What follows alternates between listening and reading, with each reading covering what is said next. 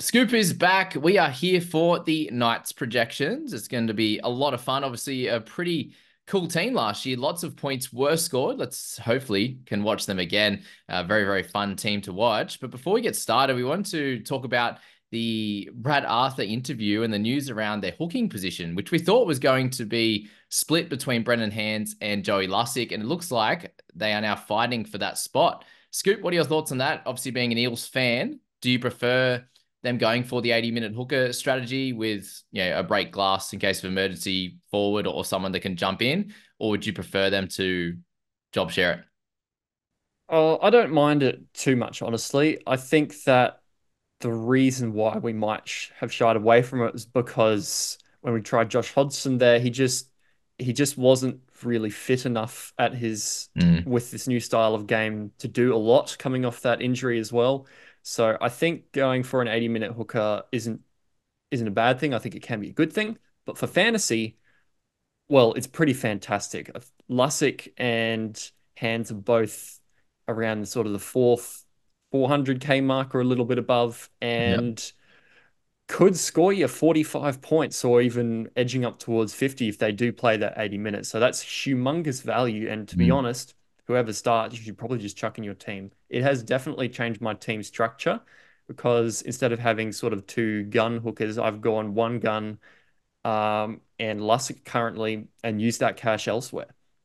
Yeah, perfect. Definitely, yeah. We'll we'll change a few things for fantasy and super coach. We'll get I'll personally get into that a little bit deeper in another episode. But let's stick in with the Knights in this one. And we'll kick it off with We've got David Armstrong in there up top, who is unlikely to feature. We have Bradman Best is second there on the list at 589. So he clearly had a very, very good year last year and was able to stay on the park was the biggest thing. Do you see any upside in in in Bradman there in a pretty tough center position?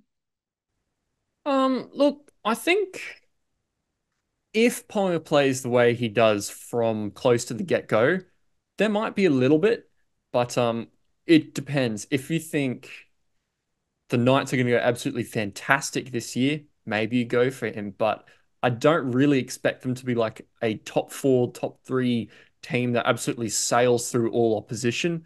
So I think what he did last year is probably put his price at a point where he's not that valuable anymore. And we can go for the guys who are true and tested elite options.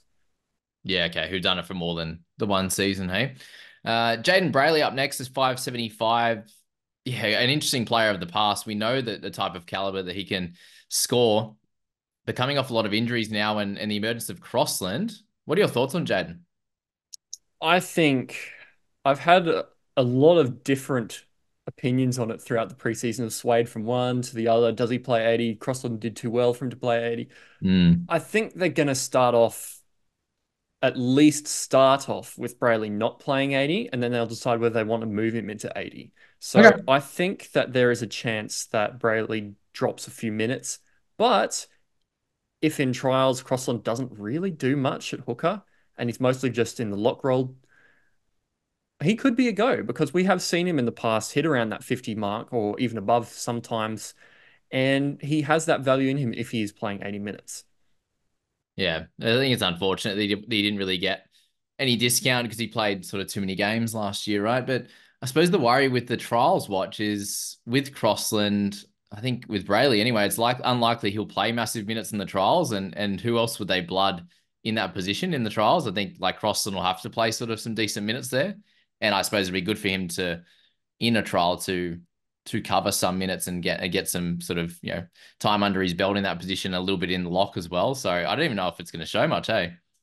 Yeah, I, I think really the only thing that would sway me is if Crossland didn't touch Hooker at all whatsoever in the trials. So, yep. and I don't think that's real likely. So no. I'm personally off Brailey, but if the signs are there, he could be one. I think he's one of these type of players who might fall down by the wayside a little bit now that we have this Eels news, but potentially there is still value there. You would probably just have to hear from coach if he was going to play big minutes, eh? Yeah. Okay, Jed Cartwright will be our next one because, as you've said, there's a lot of teams that that well, a lot of people that have him in their team at the moment. Tell tell us about Jed. Where is he in the pecking order? Look, I think he's pretty well behind a few of the options. You've got Dylan Lucas, who had a really made a really good fist of it at the back end of last year, and we'll talk about him a bit later. But they've also signed uh, English international Kai Pearce-Paul, and I really can't see Jed Cartwright getting ahead of those two guys. So to start the year, I don't think you should really look at him. He's got that jewel in his basement price, which is probably why people are looking at him, but yeah. I don't think you're going to get him. Yeah, definitely. Jack Cogger's next on the list is 620k. Definitely has priced himself out of contention, I'd say, and is fighting for a spot. What are your thoughts on him? Yeah, I mean, he there's a good chance he'll make the spot, but yeah, most of that money and most of those points came from the games during Origin where Cleary wasn't playing and Luai wasn't playing, or both. And he was doing majority of the kicking, doing all the things you'd want him to do as a moneymaker last year. However, this year, he's priced at 45 and he's playing next to Hastings, who kicks a fair bit, and it's not Penrith. Where how I don't see how he can go up from that price point. Yeah, shout out to those that jumped on him last year. Did a great job, didn't he? Uh, Matt Croker, he has played a couple of years now in that middle rotation. Where do you think he lies in terms of of minutes for for one? I think he's probably one that's going to sit in the lower echelon of minutes. I think Leo Thompson's really just stamped his mm. uh, authority in the in this front row rotation of the team. I think having both Saifiti brothers fit and Leo Thompson squishes some of the potential options on the bench. And I mean, you've got to have a good role and a good PPM to really be considered if you want to be a bench forward, a bit like Sam Hughes. And he's not even basement price. So look, there could be something there, but for me, I think I have him losing money rather than gaining it. Yep, sure. Uh, Crossland, you just spoke about, and we'll wait for an injury um, in in the middle or in with Brailey at at, uh, at nine there again. Adam Elliott, he's very very interesting in my opinion. What do you, what do you, what's your take on him after what happened with all the injuries and and the like last year? It's a bit of a tough one because we all remember that 2022 streak where he went mental, sort of did what Horsburgh did for maybe a little bit shorter uh, in that Raiders lock spot. And then we thought, oh, he's coming to coming to the Knights, he'll do that again. And he, he kind of didn't, but he was affected and struggled a little bit with some injury. So I think there's more upside uh, than downside to him. But again, I I don't know if he'll get more than about 55, 60 minutes, which he might need in order to become that really good option. Yeah, and did you have a little bit of a, a peek into sort of that last six or eight weeks there where he, he did increase those minutes? Did you see anything in that? Um, I haven't specifically. I don't specifically remember that. What What did you see in that area? Yeah, just that obviously the minutes came and and a little bit more of his consistency that he showed in that back end of 2022 was there. Uh, they were obviously humming, um, but I, I I can see a lot of that consistency being back just because of yeah him finally shaking a few of those injuries. But I, have heard a few people ask me, yeah, I've seen, seen a few people ask me or, or mention him and and cite that last sort of month or so. You're looking at it now.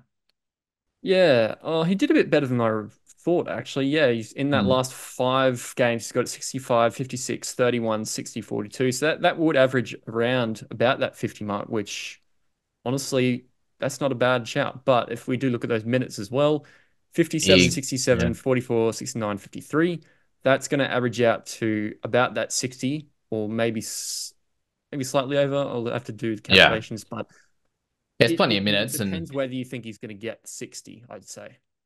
Yeah, I just I think it, it wouldn't be the worst punt for sure, but yeah, I think the big thing with with that mid position, anyways, is a lot of a lot of guys in there, um, with the Currans and, and the like. But then people are going to want to go to Payne Haas and stuff, so it's going to be hard to find that just under 600k guy like a spot for him. But uh, if, if you know, I'm not going to push anyone away if they want to go for him. Tyson, Frizell there at 714. He played a, a, good a good role last year in in a bunch of people's squads and and was able to average sort of 55 to 60 at times and be very very consistent. There's a little bit of chat about him going to left edge as well. What are your thoughts on Tice?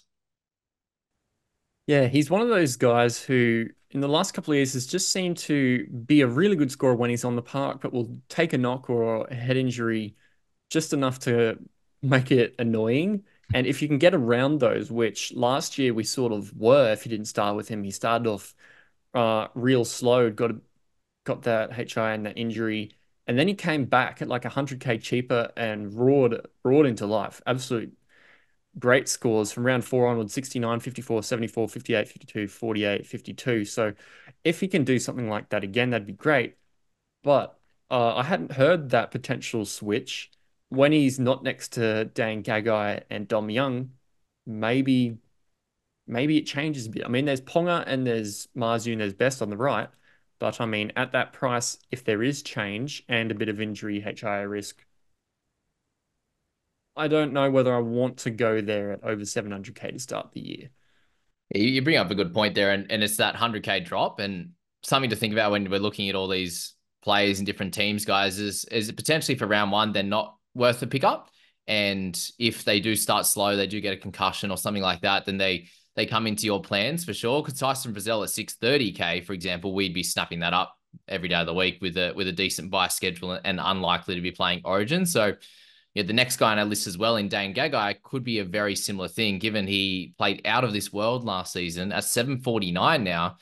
If you're able to get him a little bit cheaper than that in the 600s or you know low 600s, for for example, then that's where we could see some value from him. You've got him there as an Origin slash late season gun. Tell us more about Dane. Yeah, look, the only reason why I haven't listed him in the blue like the rest of Elite Guns is that it's just so hard to project a center to average 55 again. Yeah. Like that was, I think, the single best season from a pure center we've seen in like a decade from a fantasy point of view. Yeah. Um, we had our Batemans and our Nikoras a couple of years ago when the, with the center center dual, and that could be fantastic. Mm. But with no Dom Young this year, um, they still might go well, but far out.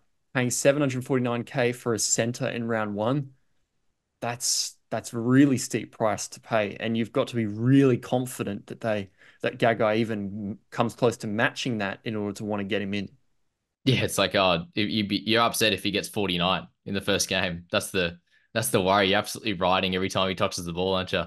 Um, Tyson Gamble, the next guy on the list, 468. You, you said there that from the numbers, surprisingly, might have a couple of points of value. Tell me more about that and, and maybe why you'd still look to avoid anyway.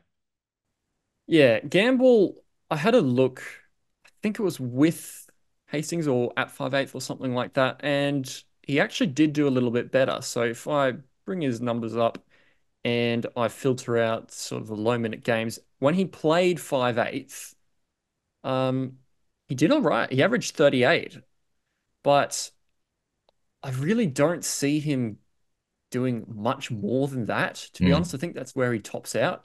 At the back end of the year, Hastings stopped kicking again. I think his foot was flaring up again. And Gamble took a lot more kick meters last month. He went 273, 271, 355, 436 kick meters. Right. So there's a few things, including that late nights run, that I think just inflated that points a little bit. And I mean, that's where his ceiling could be. But if sort of around that 38, 40 points is his ceiling and he's priced at 34, that's not quite seven, eight, nine, 10 points of value. No, not that. Yeah, the 38 gives you four um, and probably doesn't get those kick meters, does he? All right. So Hastings at the other end at 557, obviously the organizer of the team. You still got him as an avoid. Yeah, look, that that foot injury has sort of been hanging around a bit. It sort mm. of hmm. makes his foot numb, I think he said in interviews.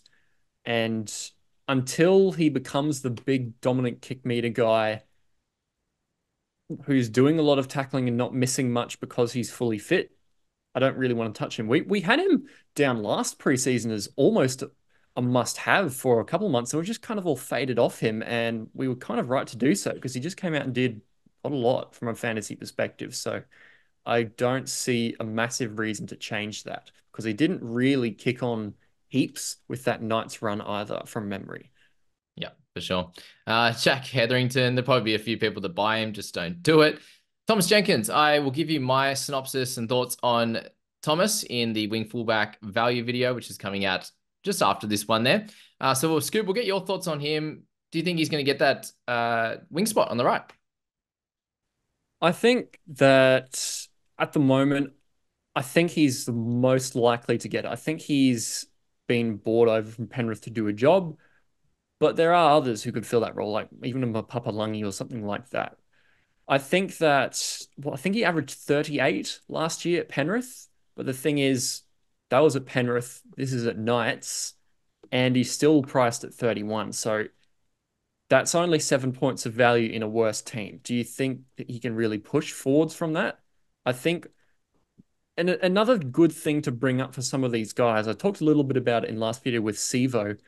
These sort of 400 to 500k yeah. wingers they can have these big games, yeah, but what if they ruin it with an 18? Where does their money making go? Will they ever make, will Thomas Jenkins ever make it up to 4, 560, 570K and make that good money that you want him to? Or will he always have that break every couple of rounds when he a low one? Yeah, that's right, isn't it? The 18 gives you a break even somewhere in the mid 40s or something like that. And he, get, he gets that 45 and he doesn't even make money in those first few weeks. So yeah, it's a it's a fun one that that position. Obviously, we just need to find some more wing fullbacks and centers to cover the likes of you know Campbell and uh, if we actually get any of these cheapy centers, which is unlikely at this point, but we still got a long way to go. Brody Jones and Riley Jones, both unlikely to play at this point. Dylan Lucas, I've been very, very high on him. You've all heard my takes. Let's hear Scoop's takes. Yeah, I think there is minute if he plays uh, over Kai Pearce-Paul to start the season, Kai Pearce-Paul's not fit or needs some cup to get going or whatever. If Dylan Lucas start the season, I think there's at least five points of value. Is there much more than that? That's where the discussion starts. So we've seen the phenomenon where we've got second year syndrome sometimes from mm-hmm. especially these kind of edge guys. Um, and we see it in Dylan Lucas's stats. So we see, yeah, 52.8 average when he was starting back row. That's insane. That's that's 12 points of value. Stick him in. But he had 42 tackles a game as an edge. That would have been like top five in the NRL on average. He's not going to do that on average. If you if you go and have a look, I actually went and had a look because of Dylan Lucas. What a good uh, fantasy edge generally averages, and right. it's about bang on 30. I think anywhere from David Fifita to IPAP and guys like that were about 28 to 32 tackles. That's a 10 point drop. But he's got some pretty good reserve grade stats. Hey, some good attack, good tackle breaks, and pretty decent try scoring. If Tyson Frizell does move to the left and he moves to the right, next to Gagai and um, he might do all right. So I do think there is case for him being quite valuable. Where you see his ceiling is probably a matter for debate. And um, do keep an eye on what's happening with Kai Pearce-Paul uh, very closely as the preseason moves on. Yeah, to be honest, he's actually not in my side. I, I love him and I, I, want him to get the spot, but there's a lot of worries uh, around him there. And what I will say about all those top edges averaging 30 tackles, lazy. They're not Dylan Lucas, are they? but you do see there, as you said, um, good Queensland Cup stats, but that's obviously with him getting that 90% try scoring rate. And you know, he was averaging 24 tackles a game in New South Wales Cup. It obviously is a little bit slower and he came into NRL and just wanted to get into his work. And and it's great to see that he could do that. But yeah, there's definitely a chance for some regression, even if he was to get the spot. And the, the chat around Frizell going to left was more so because I think they were saying Lucas is more of a right side player, and so is Kai Pearce-Paul. Okay. So either way, like Frizell's got the spot. Um, and yeah, being a veteran, it does seems like he doesn't care where he will be, and he probably doesn't probably doesn't mind being on that uh on that left hand side with Ponga and um and Bradman and all the rest there. So yeah, it's an interesting one for sure. Um, yeah, I'd love for him to get the spot, but we don't know at this point. Mapapalangi, thoughts? Have you watched much of him play? I haven't watched a lot of him play. I haven't chased down the highlights, but from what I have heard, especially from some of the people around the NRL, he's an absolute gun. So I want to see him play in the NRL at some point very soon. He what happened last year? He he was out injured with I can't remember what for most of the year, and he just he just wasn't around enough to really break in. So if he does end up being there, 250k, really good player. Um, I he's he's he would pretty much solve our backup winger issues because he would get that wing uh, fullback dual if named there in round one. Yeah, huge. Um, your boy Greg Marzhew, talk away. Oh, look, Greggy was one of my favorite owns of all time, to be honest, last year. I've hit so many dodgy pods over the years that the first year that I don't, I did really well. And I still fell into the trap of guys like Ryan Matterson over like a Horsburgh mid-season. But Marzhew is one of the few that I got really right. But like Gagai, he is now priced at well over 50 as a winger. I just can't see him going up from there. And if anything, he probably comes down a couple of points. So wait for a drop. And if he goes for four or five games without a try for some reason and drops to 570, 580K or even lower, that might be a good time to pick him up, but not at 734K. Yeah, definitely. Kai Pearce-Paul, 520K. They absolutely smashed him with that price point. Is he one of those guys that he's likely going to need 80 minutes to, to have any value if he if he's fit? Yeah, I, I think so. We've, if you look at the points per minute uh, of your forwards, there's very few edges that will perform as well as a big minute middle. And that's just because they get through more work. So Kai Pearce-Paul being uh, priced at about 38 points, and we don't know what his pedigree is well, we know what his pedigree is from an NRL point of view, but from a stats point of view, and in the NRL less so, it's going to be tougher to figure out what he's going to do. So I think he will definitely need that 80 minutes in order to be considered. Uh, otherwise, probably just one you just pass up on. Yeah, it sounds like it could just be fun to watch and, and probably helps out the Knights, even if he's a mm. sort of an impact try scoring guy or hopefully off the bench for him. Kalyn Ponga, one of the uh, best ones to finish. We'll get close to the end of this video. Thoughts on on Ponga coming into round one? Oh, I'm really salty they priced him up, hey, and that was the mm. reason because if they had put him at his what about 51 average, it was a good chance I would have put him in my team. Yeah, like there's uh, if there weren't Jayden Campbell and there weren't Ryan Papenhuyzen, if even just one of them not there, and Ponga was priced at 51, I reckon he'd be like 30% owned or more right now. He he's just he's I think he's still pretty high anyway, but he would be massive. So yes. we saw what he did in that incredible run last year that basically went from he's no good to wow, he won the Dally M. Yeah. It was a fantastic run, fantastic season. He performed amazingly. I'm really keen to see what happens for Origin now. Mm. But as a fantasy thing, he's one of the few expensive wing fullbacks that I would consider purely because he's got these extra stats like goal kicking to help. Um, but yeah, it is a lot of coin in a position that generally loses money to begin the year with a, a bit of rust and going through the middle a bit more. Definitely. Uh, and I suppose the thing is, is, is just that consistency with him. If we can get that, because I know a lot of Knights fans have been upset with how inconsistent he has been for the Knights and how good he's been in Origin. So can he get that from ball one? And, and does he keep the goal kicking as well? Uh, let's finish off. We got two guys to talk about here. Will Price at 400k. You got him here in the green as well. Talk us about talk to us about Will. Yeah, to be honest, I have him third in line to partner Hastings, uh, behind Cogger and behind Gamble, the incumbent. But if he is there for some reason, I think he could be quite good value. He's got a good step. He'll think he'll work well as a foil to Hastings, and I think, as Mark from the amateurs said, it would be illegal to have two guys in the spine with as good a step as Ponga and Will Price. So I think that I think that he will score better than his price point of 29. It's just is he named there, which I'm not so confident on. Yeah, it seems like a bit of an unlucky time to come over. Like they've got a lot of good halves at the moment that, you know, Gamble, we weren't sure was going to be there next year, especially after they signed Cogger, and then he went on that incredible run. So it's like you can't even drop him. And Cogger was amazing in the grand final. So Price is just he's fourth in line and kind of missing out. You'd imagine.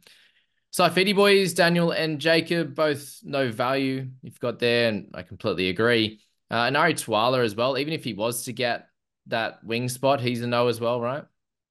Yeah, I think he's one of these guys who scores better at center because of the extra base. Mm. Um, and just yeah, he's about nearly 500k for someone who's fringe, hasn't played that much in the last year or two, and hasn't got that fantasy pedigree. Yeah, and then Leo Thompson, he averaged 40 and a half last year, up to 557. he kind of already did move into their bigger minute middle role, didn't he? Apart from you know Elliott at lock. So is there much room for for growth on that, or is it like a you know 580, 590k kind of ceiling? Yeah, that's that's probably what I see for him. There's a world where one of Elliott and Leo Thompson gets a decent amount of extra minutes and pushes their price up a bit, but uh, I think they might both sit on pretty decent minutes and not go crazy. So yeah, for to me for me, some of the other options are more interesting. Awesome. Let's roll right into that pack predictor now that we're talking about those minutes. So you've still got Thompson there at 45, which puts him just overvalued there. Your value guys sitting there with Jayden Brailey potentially if he does get the 70 minutes, which is which is really high, obviously. Um, and then Dylan Lucas, if if he was to get that start, it doesn't really look like anyone else has much value apart from Frizell there. Yeah, I mean, Frizell, as you said, averaged about 55 last year when he didn't have the head knocks and things like that. But yeah, price has to be right for some of these guys. Um, and there will be these options that do come down from uh, a game where they go off early or a game where they get injured from a little niggle and they come back 50, 60, 100K cheaper. So if you can get those type of guys at the right time, they can really boost your season. But for now, I think you just go for the value guys and just wait for those. You can't bank on it happening. And yeah, if Brailey plays 80, according to the history that we've got in the PPM, we've got he'll probably average about low 50s, and that's easily 10 points of value. But at the moment, I've really got to see Crossland not touching Hooker at all in trials to even want to put Brailey in my team at the moment. There's too much too much risk, isn't there? And then the guy to come out when when Kai Pearce-Paul returns, Hetherington? Yeah, it's it's a tough one. I think that it would be more likely to be Hetherington. I sort of thought about it initially. It's just like, oh, Lucas just swaps with Kai Pearce-Paul, nothing changes. But yeah, like it would make much more sense for Lucas just to go bench and Kai Pearce-Paul to come in there if if they're the better options and Lucas did a really good job last year. So mm, depends how um, it goes. If Kai Pearce-Paul is in the team uh, and looks like he's going to play 80 with no Lucas in there for some reason, sure, good value. If Lucas is in the team with no Kai Pearce-Paul and Kai Pearce-Paul looks like he's still injured for a bit or going to play cup for a while, sure, you can go him. But if they're both in there, yeah, as you said, and then it, yeah, they probably need to play 80 in order to get that value. Yeah, I think if he's Kai Pearce-Paul's in that team, they they kind of cancel each other out for minutes and yeah, they both need the big minutes and they probably won't get it. Uh, byes for them round 12, round 16, and round 21. So they play the big ones in 13 and 19, obviously, and they get 14, 17, 20. So only missing one game through that entire period. So very, very good for the non origin guys that you have, whether it's the value guys, any cheapies that pop up, and any guns like Frizell and the like, like you mentioned, obviously, there, which is awesome. And their start to the draw Raiders, Cowboys, Storm, Warriors, and then Dragons. So, what are your thoughts on that? Yeah, uh, one thing I did want to touch on, just as you said, they have a really good Origin run. They're one of only two teams, along with the Tigers, I think, to play um, just have the one bye throughout that whole period instead yeah. of two. They do have one immediately before in round 12 and one immediately after round 21. But if you're only looking for that origin cover sort of guy, uh, if they're the right price, that's a that's a really good fill up situation. So regarding the early season draw, I think Storm Warriors dents a little bit of potential they might have had to to go um, quite well. I think the Roosters also will rise a little bit and makes it a little bit harder than it might actually seem. So it doesn't excite me too much to be, to begin the year this draw. So I think you'd mostly go for the forwards rather than the backs unless you're unless you're confident that Ponga is Ponga, Ponga will do Ponga things and score a million points. Mm. Yeah, you could probably just do that no matter who he plays. Like the Raiders one's gonna be a fun uh, return to the um the, the finals game they played last year. That's at home for them. I, I, predict them to win that one, but yeah, who knows? It could be a real close one as well. Uh, and then the Cowboys away, like if they actually turn up defensively, then that could be a, a fairly tight tussle as well. So yeah, for the most part, I think anywhere in the middle forwards, the edges, is going to be awesome. And we haven't really spoke about any outside backs of as being any sort of interest anyway. So yeah, all steam ahead with any of those any of those guys that that pop up, whether it's a Lucas, whether it's a Brailey with big minutes. Um, again, edges and middles at this point, and then potentially Ponga that could just do yeah, great things as he said. So let's leave that one there, guys, with the with the Knights. That was good fun. And we'll get into the Panthers for the next one.